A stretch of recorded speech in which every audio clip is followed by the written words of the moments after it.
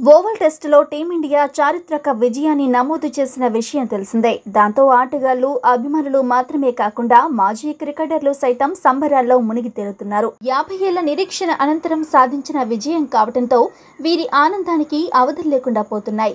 Match అనంతరం team India ఆటగాళ్ళు డాన్సులు కేకలు ఈలలతో డ్రెస్సింగ్ రూమ్ను హోరెత్తించగా భారత అభిమానులు అక్కడ ఇక్కడ అన్న తేడా లేకుండా ప్రపంచవ్యాప్తంగా సంబరాలు జరుపుకున్నారు.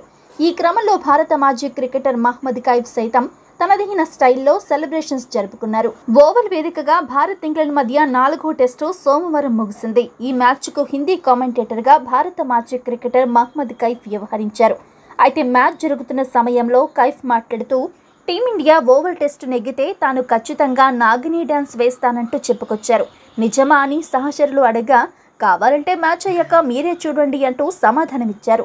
మూడు వందల అరవై ఎనిమిది పరుగుల టార్గెట్ను ఛేదించేందుకు బరిలోకి దిగిన ఇంగ్లాండ్ ఐదవ రోజు రెండు వందల పది పరుగులకే ఆల్అౌట్ అవడంతో భారత్ నూట యాభై ఏడు పరుగుల తేడాతో ఘన విజయం సాధించింది. అయితే మహ్మద్ కైఫ్ తానిచ్చిన మాట ప్రకారం నాగిని డ్యాన్స్ నేర్చుకుని మరీ కొన్ని స్టెప్పులు వేశారు. దీనికి సంబంధించిన గ్లిమ్స్ను కైఫ్ స్వయంగా తన ట్విట్టర్ ఖాతాలో పోస్ట్ చేశారు.